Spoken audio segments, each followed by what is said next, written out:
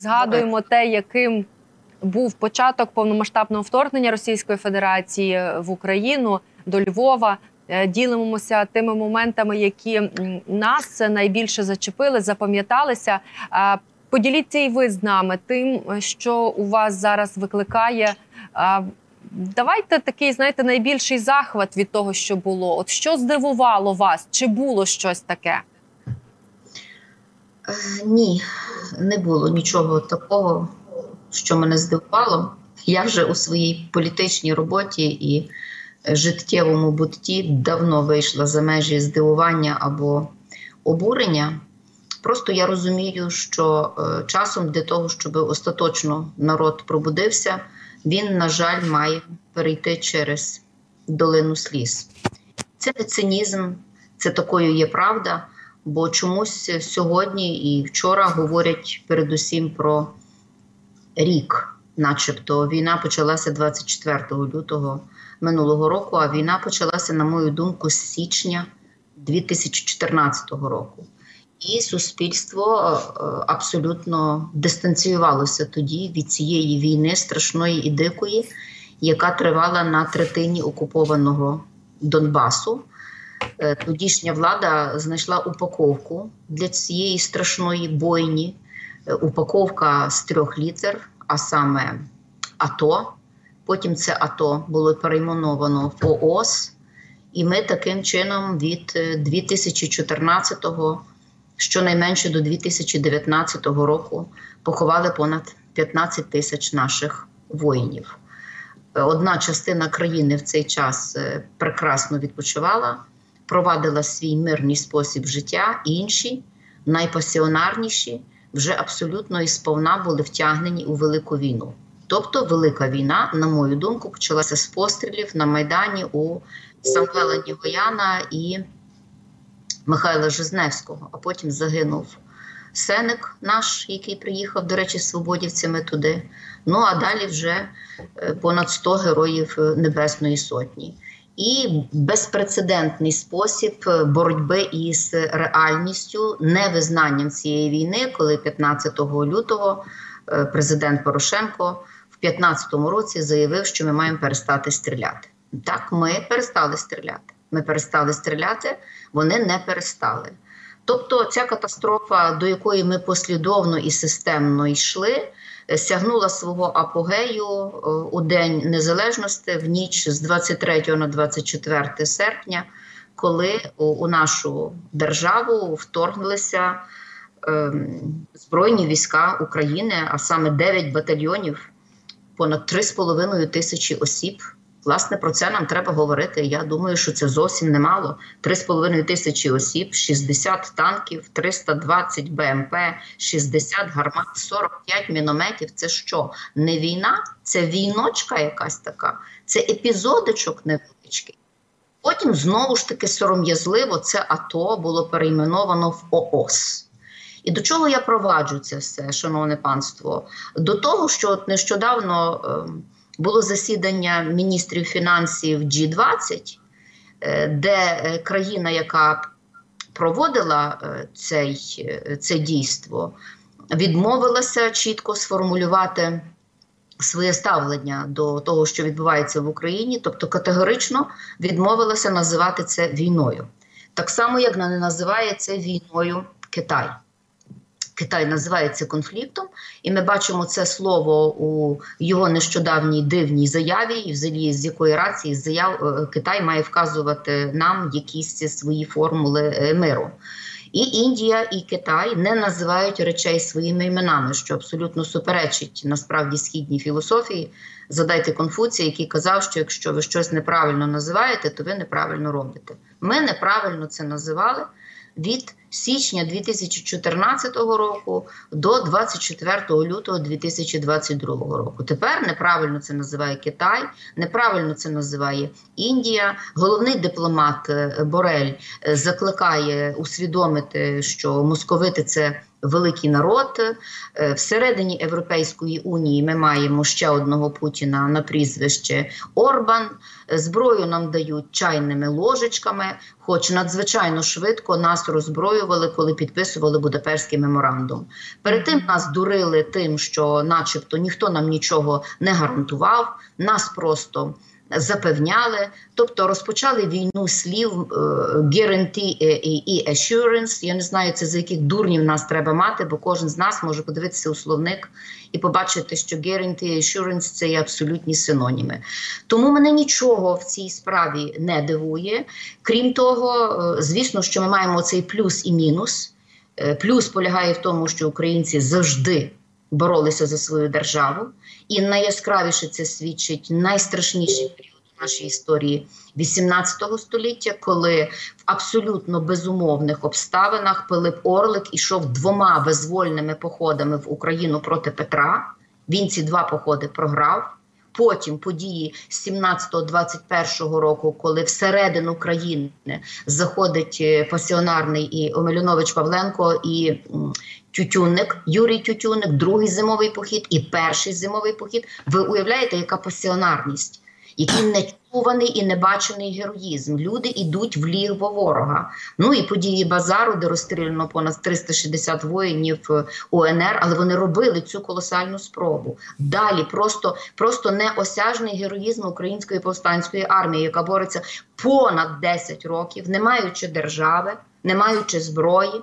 Не маючи грошей і не маючи жодної найближчої перспективи, маючи ж сильну віру і не, несамовиту пасіонарність, і несамовиту відповідальність перед своєю землею, коли тобі Господь подарував цю землю, ти маєш сповнити найважливіший обов'язок її захистити. Тому те, що було 24 лютого, коли чоловіки. Масово йшли в територіальну оборону. У мене відразу запитання, чому закон про територіальну оборону було ухвалено щойно в січні. 2022 року. Що ж робила влада в 2014 році, коли йшла так звана по їхньому АТО?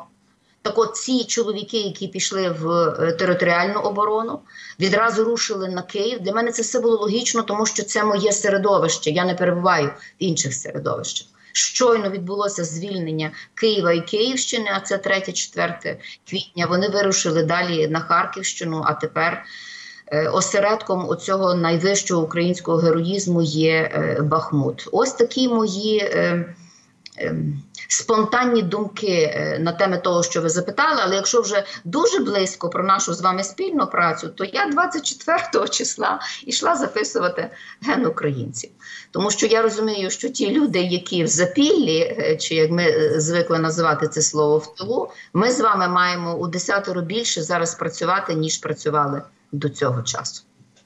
І ви однозначно це робили протягом цього року. Тут я можу лише ну не те, щоб підтвердити, а просто всі за цим спостерігали. І велика кількість інтерв'ю і тих програм, які справді ви записали, це надзвичайна робота.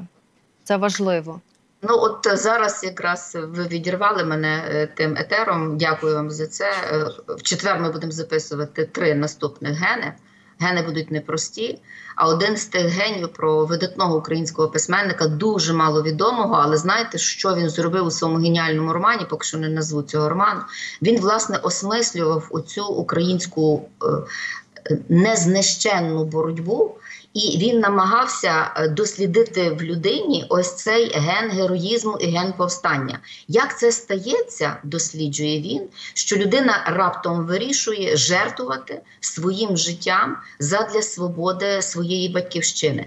Коли е, прокидається оця природа твого гену, от природа твоєї національності, природа твоєї неповторності, і щоб е, надати оцьому явищу неймовірної глибини він заходить заходить в біблійну історію, бо всі ми туди приходимо і з цього ми виходимо.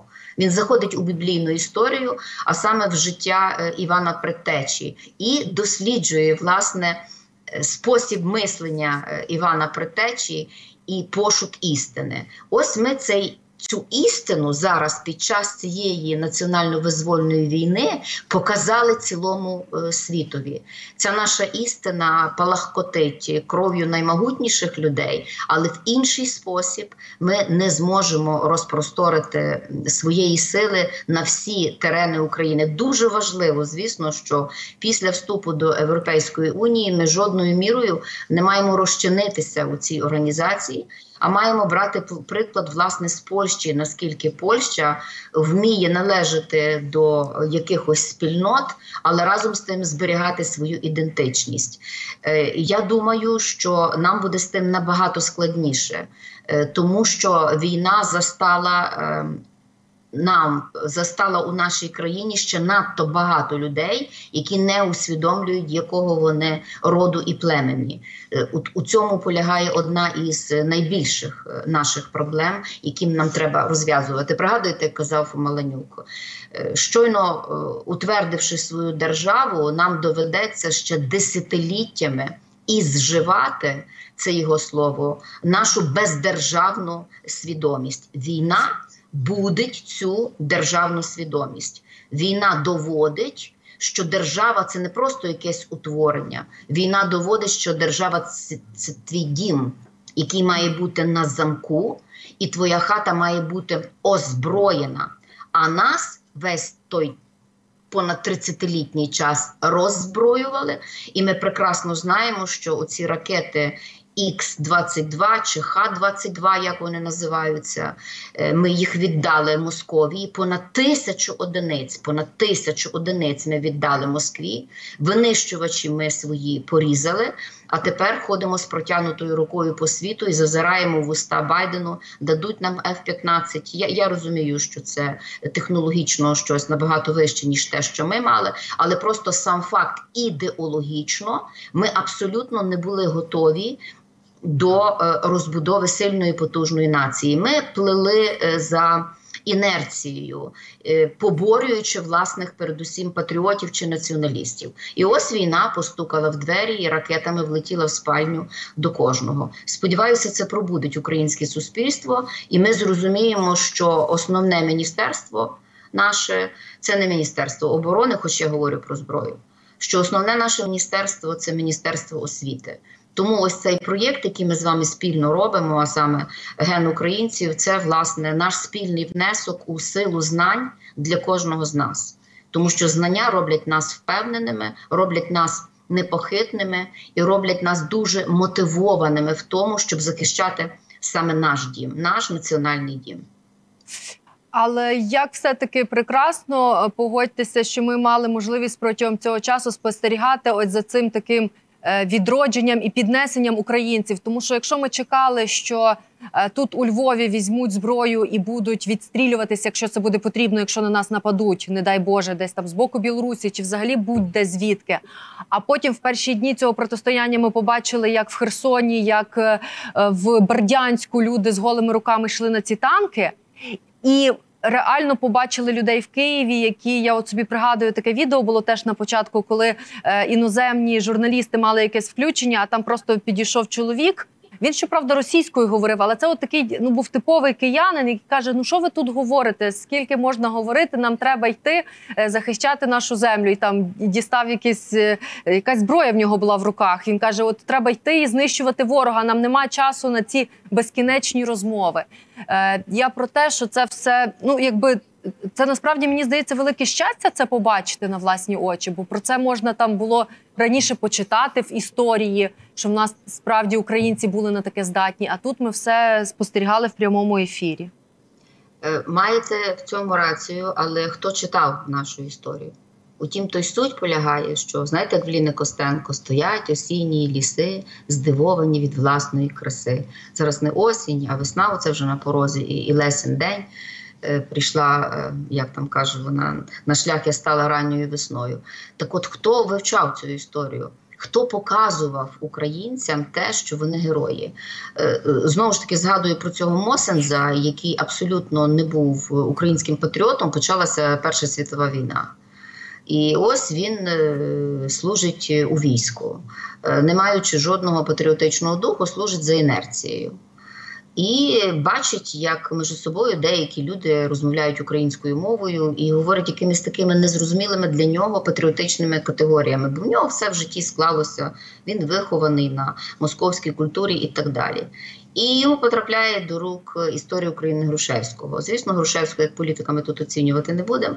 Він читає історію України Грушевського і приголомшений українським героїзмом, і в нього пробуджується оце шалене почуття гордості, що він належить до предковічного українського роду, хоч там в глибині його батьки литовці, поляки і так далі. Тобто, наскільки суспільство впродовж 30 років е, давало українцям це відчуття, що ми велика нація? Ні, навпаки, створювали міфи про меншовартісність. Саме меншовартісність е, закидували через засоби масової інформації. Той же ж президент України Зеленський активно працював на цей московський наратив у своєму 95-му кварталі від 2006 року, виставляючи у своїх е, комедійних е, номерах недоумкуватого українця. Пригадуєте е, Кошовий, який він грав ролі, надягаючи на себе гуцульського кептарика. І, і, взагалі, всі ці шоу дебільні, які обов'язково мали за потребу висміювати українця. Чомусь українець в тих шоу говорив якою мовою суржиком або ще якимось недолугим наріччям. А московит завжди мав привабливе обличчя. Тому для багатьох людей те, що реально сталося, було подивуванням, але жодною мірою не для мене. Тому що якщо б українці знали подвиг е, покоління героїв базару, навіть навіть героїв базару, тобто навіть герої УНР, де провід не мав націоналістичної свідомості, або Ездеківський, якщо б наше суспільство е, читало історію ОУН УПА і читало праці, до прикладу, там чи Васиян. Богдана, чи Ленкавського, чи Федуна Полтави, чи інших, це би було сприйнято як як абсолютна певність, що саме так воно буде, що ми не втратимо своєї землі, що ми відіб'ємо Київ. Тобто, нам впродовж 30 років е, бракувало знань про самих себе. І ось що ми тепер отримали. Не знаючи про себе теоретично, не знаючи своєї історії, ми отримали практичні знання. На жаль, ці практичні знання ціною життя найкращих через те, що погані не вчилися і не хотіли вчитися. Е, дуже би хотілося, щоб ми не розтрясли на дорогах Європи оцього патріотичного захоплення самим собою, і і знову не кинулися когось наслідувати, комусь служити і вибудовувати якийсь знову чужий пріоритет. Як не московський, то тепер, скажімо, космополітично-європейський чи, скажімо, е, англійський. Тобто, як би це так не сталося, щоб ми раптом замість московсько-українського суржика не створили англійсько-український суржик, який вже точно на старті. Тобто ми знову ж таки не е, не демонструємо цієї абсолютної певності. Це я вже кажу як е, досвідчена е, особа, що пройшла майдан, бо майдан викликав не менше зачудування, і тоді на озброєний Беркут люди йшли з дерев'яними щитами. А угу. зараз наші хлопці, які кинулися захищати Київ, все таки мали джевеліни. Це це також велике надбання, вже так би мовити, що тут е, президентська влада зорієнтувалася і показала, що вона є на місці. І буде боротися і змагатися. Тобто, можливо, тепер суспільство, яке йшло згубним гедоністичним шляхом, зрозуміє основне призначення життя і від Лесі Українки, і від Івана Франка, і від Тараса Шевченка. Лиш боротись значить жить.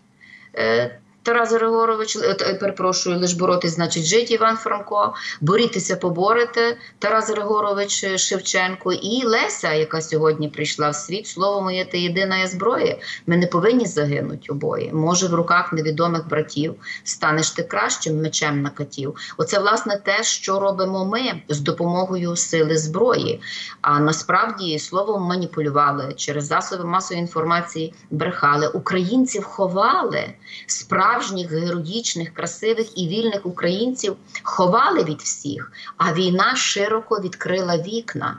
І ми побачили оцей героїзм на Херсонщині. Хоча ви розумієте, що саме з херсонських степів неперевершений Маланюк, саме з херсонських степів неосяжний Чекаленко, той Чекаленко, який фінансував національно-українське відродження на межі 18, на межі 19-20 століття, і що з ним зробили українці? Забули і забили.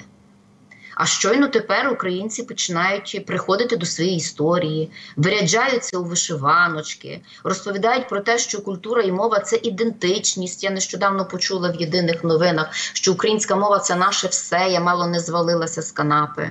Бо як же ж таврували, зокрема, Фаріон за те, що вона таку наступальну мовну політику завжди поводила. Ну, ось так якось воно виходить, що тут треба менше емоцій, а зараз е, більше вмикати е, рацію, щоб ми знову не допустили того, що було після Майдану, коли відразу після Майдану, щоб нейтралізувати оцю пасіонарну силу, нам накинули гасло Єдина країна, єдина страна, і знов до парламенту зайшов хто? Зайшов Медведчук. Той Медведчук який вже із якимсь там Сурковим в Москві готує черговий план впливу на мозги українців, які зараз змушені перебувати на окупованих територіях. Тобто, наскільки ми зараз ідеологічно готові кардинально змінитися. І перейти до дуже радикальних ідеологічних методів в покаранні колаборантів, відкритих колаборантів і прихованих мало забрати депутатський мандат в такої жінки, як Королевська. Ем, Якщо у нас досі Шуфрич очолює комітет зі свободи слова, то в мене це викликає величезне. Ну не буду казати європейським словом занепокоєння, мене тріпає від цього. Чому ці люди досі не під слідством? Е, чому не засуджено жодного е, депутата Верховної Ради за те, що значна частина з них провадила абсолютно колаборантську політику? Це не штука забрати у них мандат, а штука їх засудити за антидержавну діяльність. Ну на сам кінець хочеться зачепити ще наш чат. Е, чомусь сьогодні наш чат в в Ютубі зреагував на вашу появу найбільшим питанням Е, ну закинули, так так пішло. І багато зараз дискусії. Е, кирилиця чи латинка на майбутнє для України. Там дуже багато аспектів люди пишуть, і всім цікаво почути вашу думку. Я висловлювала вже на цю тему свою думку неодноразово і робила великий блог про це. Можуть люди зайти на українську правду. Я і далі там веду блоги. Е, я зробила цей блог ще тоді, коли таку пропозицію безглузду і нікчемну зробив Клімкін.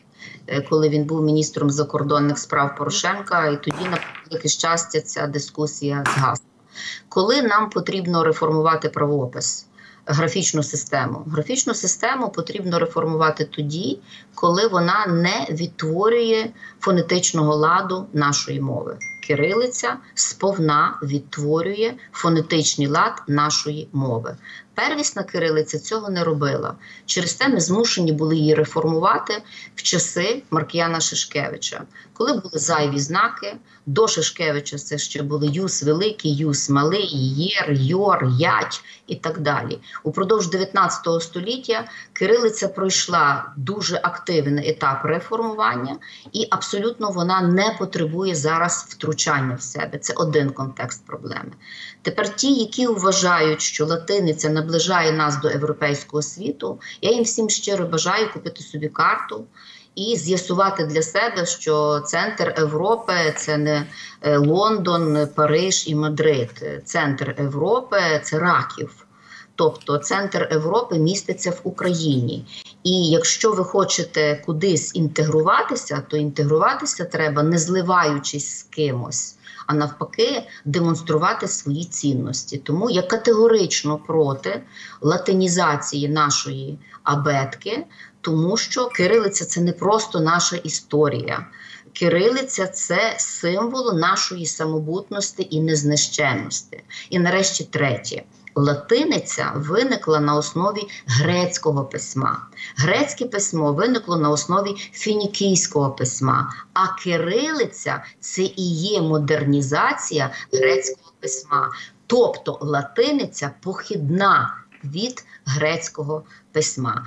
Я вважаю, що це можуть пропонувати лише ті люди, які весь час біжать за якоюсь модою. Люди, які абсолютно не мають свого національного стилю і намагаються лягти під якусь тенденцію. Натомість нам самим, українцям, треба творити свою тенденцію. І нарешті четверте чи п'яте. Всім тим, які ляпають про щось про латиницю, рекомендую спершу дуже серйозно прочитати класичні праці на цю тему. Починаючи від Маркіяна Шишкевича, його азбука і абецадло, суперечка із паном Лозинським, який потім дуже гірко каявся в тому, що розпочав цю дискусію. Далі прочитати блискучу працю нашого видатного класика Івана Франка Азбучна війна, де він показує абсолютно і повне фіаско такого собі іречика, чеха, який намагався нас, українців, загнати у латиницю. І остання крапочка, аби висміяти сучасних латинізаторів, це прошу собі от придбати такий український правопис. Якщо не можете прочитати, то можна, я не знаю, якось притулитися до нього. І тут прочитати про полеміку, яка відбулася між таким комуністом Пилипенком, бо саме комуніст Пилипенко намагався накинути українцям латиницю. І за цю комуністичну новацію латинізації української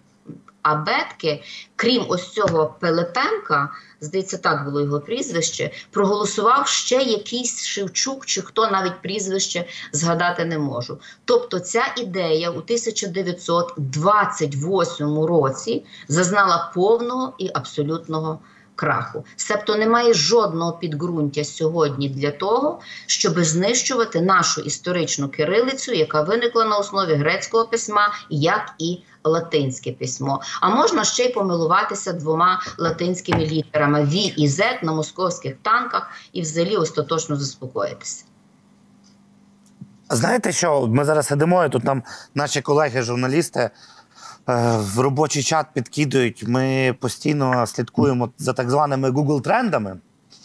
І сьогодні, якщо говорити про український сегмент е, Google, то найбільше знаєте, що шукають користувачі інтернету на території України? Понад 100 тисяч запитів зроблено. Це справді великий тренд, тому що іноді в е, лідери вириваються там запити 10 тисяч плюс, 20 тисяч плюс. А сьогодні 100 тисяч плюс запит День української жінки 25 лютого. Це така ініціатива була, щоб впровадити сьогодні в день народження Лесі Українки, видатної української жінки, щоб скасувати 8 березня і зовсім з ним розірвати зв'язок назавжди. Е, Я так розумію, що нам треба щось просто святкувати. Нам треба щось натомість, щоб скасувати зовсім 8 березня. То от е, е, цей день пропонують. А як ви до цього ставитеся? Нам взагалі треба день української жінки? Це пропозиція моєї посестри Свободівки е, Ага. Оксани Савчук. Е, Так, то я би напевно тут мала одностайно її підтримувати. Але я проти сепарації чоловіків і жін- і жінок. Я сприймаю їх як єдине ціле і як абсолютно приреченість один на одного. І, і всі ці е, окремо взяті жіночі організації, окремо взяті чоловічі організації мене завжди викликали е, скептичну усмішку. І я тут погоджуюся з Донцовим, який казав, що не треба заганяти в гетто ні чоловіків, ні жінок, бо вони один без одного нічого не зроблять в тому житті. І це таке щастя, що ми є е, разом. Е, Ідея зробити жіноче свято в День родин Лесі Українки. Я ставлюся до цього е, з усмішкою і взагалі вважаю, що для того, щоб скасувати 8 березня, е, зовсім не обов'язково заводити щось натомість. Хоча б тому, що у нас є е, історично давним-давно визначене свято матері. Нічого в світі кращого немає, як твоя мати молодая своїм е, е, дитяточком малим. 8 березня треба забирати негайно, так само, як якесь там 1 мая і 9 мая це факт. Е, Тобто я не можу сказати, що я дуже горю е, цією ідеєю. Розумієте, я вважаю, що День родин Лесі Українки він належить передусім матері Лесі Українки, е, Олені Пчілці. Бо саме Олена Пчілка і псевдо дала своїй донорці таки Українка. І це, напевно, єдина в світі письменниця, яка має псевдо назву своєї нації. Та Вам Я- передають вам передають вітання в наших коментарях. Багато хто вас любить, дивиться і е, раді, що ви в нас з'явилися. Також помічають е, кицю на вашому фоні. А це, це, це, та, це та сама киця, чи це якась нова? Ага. А яка, яка? Е, ну, Ну та що у вас завжди була. Я знаю, що у вас був котик, чи це він? Ні, це коли почалося повномасштабне вторгнення. До мене приїхала товаришка моя найближча зі своїм котиком. І можливо, цей котик найактивніше був у вас в етерах, тому що е, йому, напевно, дуже подобалося це все слухати. Він Дуже чемно сидів і завжди потрапляв в, в поле е, камер. А моя Бела, оця білосніжна, вона вередлива киця і перешкоджає часом нормально працювати. Котик київський тепер поїхав додому і активно наповнює Київ своєю позитивною енергетикою, повідомляє, що там відбувається. Так що не можу сказати, що коти між собою мирно тут перебували в березні, квітні, травні. Тому що найважливіше, що найважливіше е, е, свій відокремлений простір. І ось війна це ще раз е, підтвердила, як важливо, коли твоя хата захищена, і коли в своїй хаті пануєш тільки ти. І киця моя, коли до неї прийшов чужий кіт, звісно, віддала е, дала дуже агресивну реакцію. Ну і перемогла. Так само і українці переможуть неминуче у цій війні, тому що вони дуже адекватно зреагували на вторгнення Дикої Орди.